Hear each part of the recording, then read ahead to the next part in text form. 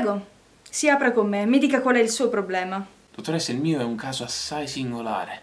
Ho una mania per i giochi schifosi, i giochi brutti, i giochi orrendi, i giochi fatti male, i videogiochi intendo. Ecco, capiamoci, dottoressa.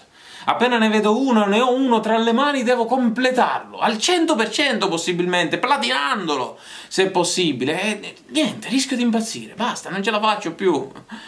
Vorrei guarire, dottoressa, e per questo mi sono rivolto a lei, perché so che ha risolto altri casi simili in passato. Sì, sì, ho affrontato questo problema con altri pazienti ottenendo ottimi risultati, quindi coraggio, mi racconti un po' la sua esperienza, mi parli di questo gioco schifoso. Ah, devo... devo proprio. D'accordo. L'ultima schifezza a cui ho giocato si chiama Ride to Hell Retribution. Ed è un gioco per PS3, Xbox 360 e PC del 2013. 2013, dottoressa, soli tre anni fa, non stiamo parlando di vent'anni fa, un'epoca in cui i giochi brutti abbondavano, no, tre anni fa. Mi chiedo come sia possibile che esistano abomini del genere. Non capisco neanche perché lo acquistai. Ah, ecco, mi sono fatto abbindolare dalla somiglianza, anche se lontana, da Full Throttle, capolavoro della LucasArts degli anni 90 dottoressa, quanto, quanto mi sbagliavo, dottoressa, quanto mi sbagliavo. Ok, comincia tutto con il classico duro motociclista metallaro di turno che percorre con la sua moto in stile Harley delle strade americane non ancora meglio precisate. Poi subito SBAM! Una sequenza in cui devo sparare con una torretta mitragliatrice, senza motivo, senza apparente motivo. Quindi parte una scena con il personaggio da me controllato sulla moto verso mete ignote, poi lo ritrovo a fare a pugni con un energumeno e qui sono chiamato a premere in maniera assai poco esaltante dei tasti in una sequenza di quick time events di dubbio valore ludico. Il tutto con effetti sonori schifosi, con la musica che sovrasta tutto e con la capacità di coinvolgimento di una messa in latino.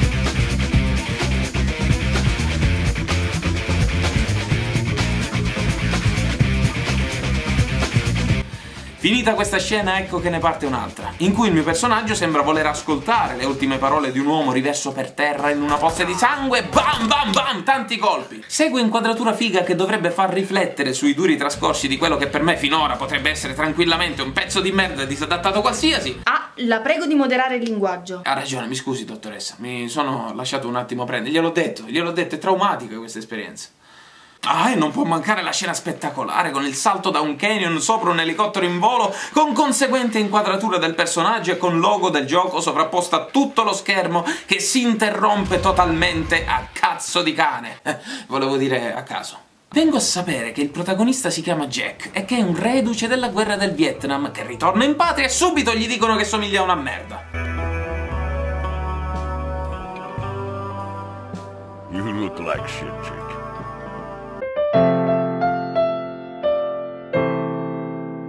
Jack un fratello, Mikey, che ha le mani giganti. Anzi, aspetti, tutti nel gioco hanno le mani enormi. Per un motivo o per un altro, Mikey ha i suoi problemi e scappa dalla stamberga in cui eravamo insieme al vecchio e quindi io devo rincorrerlo con la moto.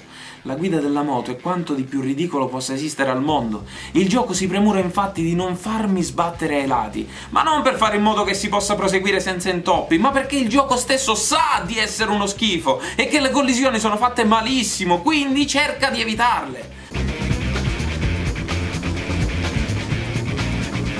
Fallire un obiettivo significa automaticamente ricominciare dall'ultimo checkpoint, il che vuol dire una frustrazione immensa e soprattutto il gioco non mi avvisa in alcun modo se sto sbagliando qualcosa. Sbam, hai sbagliato, ricomincia, stronzo, e si ricomincia da capo. Mi scusi, dottoressa, mi scusi. Poi le sembra possibile che in un gioco di moto tutte le fottute strade siano piene di lavori in corso che neanche la Salerno-Reggio Calabria nei mesi di sciopero degli operai? Le sembra possibile? L'audio è solo uno dei gravi problemi che si porta dietro il gioco, tra silenzi eccessivi di alcune scene che trasmettono desolazione mentre dovrebbero essere concitate, e rombo di motori delle moto che invece sovrastano tantissimo le voci di chi parla.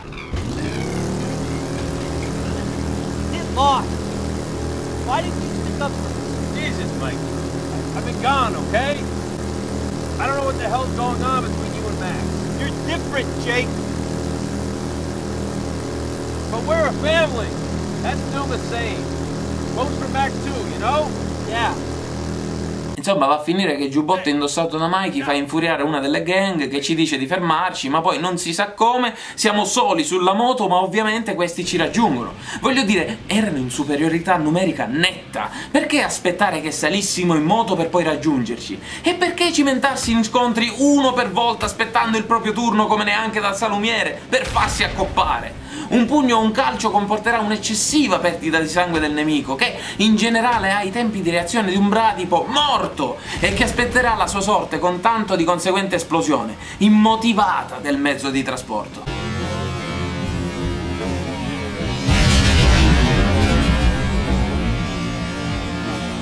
Esplosione che non ha né capo né coda, visto che poi noi sbatteremo senza subire danni, ma nonostante questo il gioco intuisce che c'è qualcosa che non va e ci fa ricominciare dall'ultimo checkpoint perché, oh, non devi sbattere, anche se potresti tranquillamente proseguire dopo l'urto, non devi sbattere, punto, perché lo dice il gioco. Ah, e c'è da dire che i nemici ci aspettano se rimaniamo indietro, ci aspettano, per poi riprendere la corsa dopo che li avremo raggiunti perché non saranno loro direttamente a cercare di contrastarci, ma altri motociclisti che spuntano dal nulla, dal nulla totale. Perché dei motociclisti che cercano di ucciderci dovrebbero comportarsi come se fossimo noi ad inseguirli, per poi affidarsi ad alleati loro che spawnano a cazzo dai lati? Perché? Dottoressa, ancora una volta, mi scusi.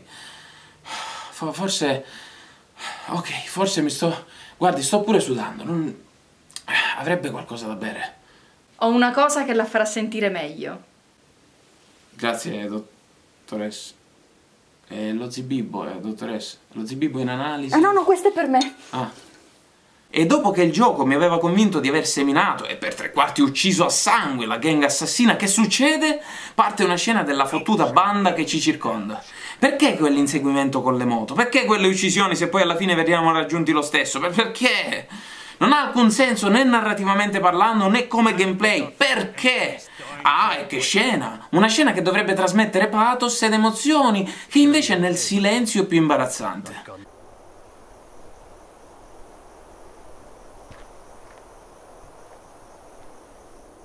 Don't you move now, cherry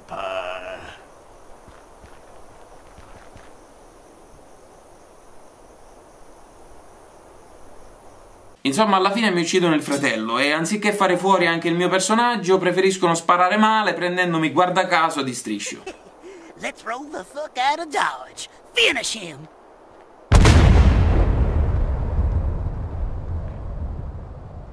Perché certo, dottoressa, sgozziamo il fratello minore inoffensivo, ma lasciamo libero il Cristone che potrebbe poi vendicarsi un giorno, certo. E ricominciano le sessioni in moto, con quegli schifo di lavoro in corso dappertutto, ostacoli disumani in mezzo alla strada e la salute che si consuma poco a poco man mano che andremo a sbattere contro gli ostacoli.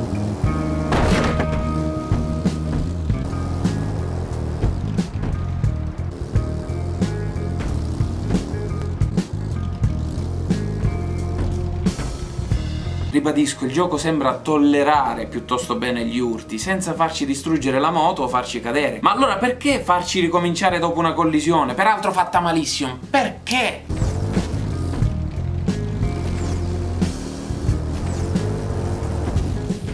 Ah, è finito il livello di salute, la moto esploderà.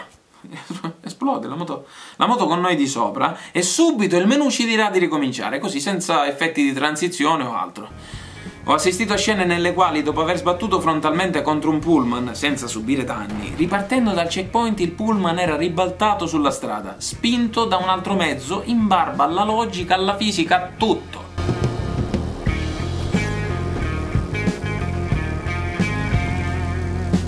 Poi ci sono cose che devono essere fatte, secondo il gioco, e se non le facciamo come dice lui, si ricomincia dal checkpoint, ogni volta con un pezzettino di salute in meno. Dottoressa, anche portare a compimento un'operazione come passare sotto un'autocisterna, certe volte risulterà un restart dell'evento, perché secondo il gioco non l'abbiamo fatto bene. Un po' come se in una partita di calcio venisse annullato un gol regolare ma brutto, un gol della merda. Annullato perché è un gol, del, un gol della cacca, dottoressa. Un gol brutto, annullato perché però regolare. Ok, guardi, abbiamo raccolto informazioni a sufficienza sul gioco, suppongo. Abbiamo detto che i QTE fanno schifo, che gli inseguimenti sono illogici, che le collisioni non sono di questo mondo e che i dialoghi sono degni di un film thailandese di serie Z.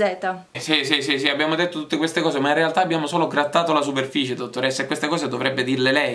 Eh, posso continuare, per cortesia? Ah, ne abbiamo ancora per molto? Non moltissimo, dottoressa, però insomma mi sembrava fosse interessato. Ora, non è che perché ho trovato il buono sconto per questa visita da 15 euro in Trav e Trans, volevo dire in Topolino, eh, lei si deve dimostrare svogliata. Mi dia la possibilità di spiegare ormai tutto, ci stavo pure prendendo gusto, insomma, perché? Ah, dove ho messo lo zibibbo? Il sistema di combattimento è una sorta di pallida imitazione di quello di Batman, con pugno, calcio e contrattacco. Il tutto però, manco a dirlo, funziona malissimo e i nemici aspettano le mie mosse prima di procedere con le loro. E ho scoperto che mentre ero lì a vedere come evitare i colpi e come contrattaccare, semplicemente premendo il tasto R sulla tastiera, con il solo calcio si può portare a compimento qualsiasi combattimento. Certo ci vogliono tipo 100.000 calci tutti uguali, ma è una mossa pazzesca e inarrestabile che vanifica l'intero sistema di combattimento e rende palese l'idiozia assurda dei nemici.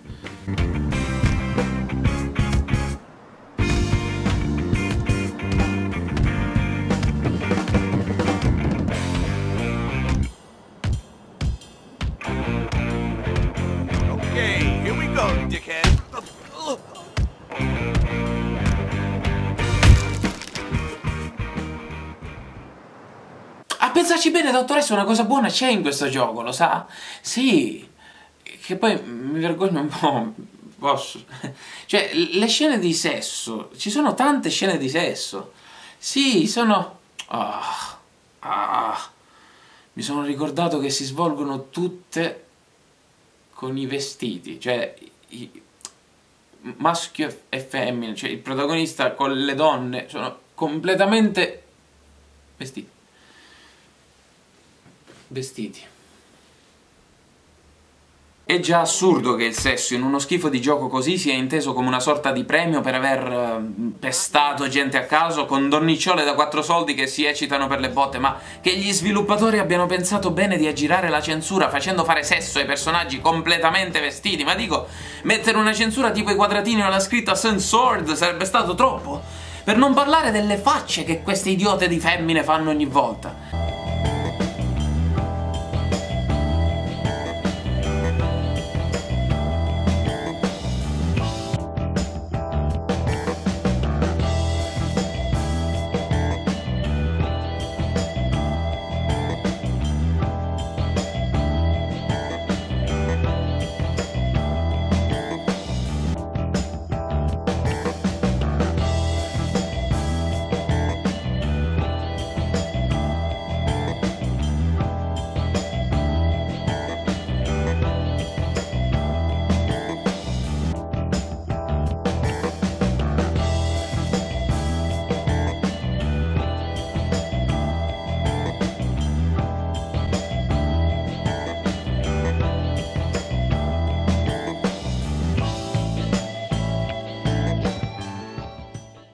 E si ricomincia così ogni volta, inseguimenti, picchiare la gente in moto, far esplodere la loro moto e togliere loro la vita e rispettare al massimo le mosse che il gioco vuole farmi fare, nonché esibirmi in movenze assurde, collisioni al limite del demoniaco e accelerare anche strisciando per terra con la moto per chilometri e con una prostituta dietro che nel frattempo si grattugia il deretano senza lamentarsene. In effetti siamo davanti a un caso disperato. Io le consiglierei un po' di zibibbo. No, dottoressa, non voglio bere, ma eh, l'ultima cosa. Ah. Nelle fasi in cui è richiesto di sparare, la telecamera andrà quasi sempre per i fatti suoi, facendo venire il mal di mare come se il resto del gioco già non bastasse. E i nemici pensano bene di attaccare Jack a mani nude, certo, oh, come se non avesse una pistola. Oltre al fatto che la mira è qualcosa di orribile, ma che per fortuna i fottuti nemici stanno quasi ad aspettare per farsi headshottare in tutta tranquillità.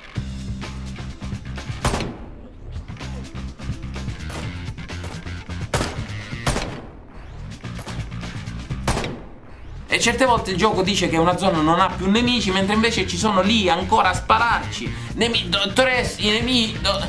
D'accordo, basta. Eh. Guardi, io non ho mai giocato a questo schifo di gioco, ma pur essendo credente mi viene una voglia di essere blasfema al massimo.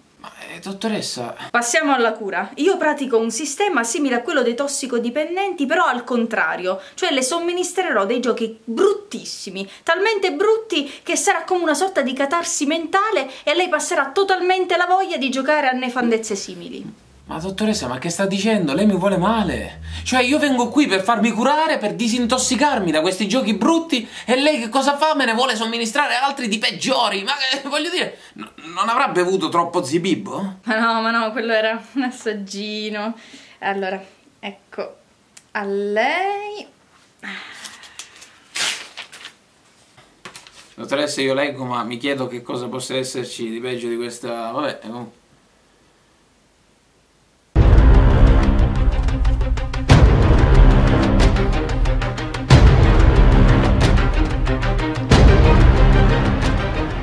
Dottoressa, lei sta scherzando, spero. Io dovrei giocare questa cosa qui. Le... Ma maledetto il giorno in cui ho preso il coupon da 15 euro per, per venire... Cioè, ma cosa... D'accordo, voglio darle retta. Lo giocherò. E ci vediamo alla prossima. Ma se la cosa non va bene, lei mi dovrà rimborsare tutti, tu- tutte le visite che- che- che stiamo facendo qui.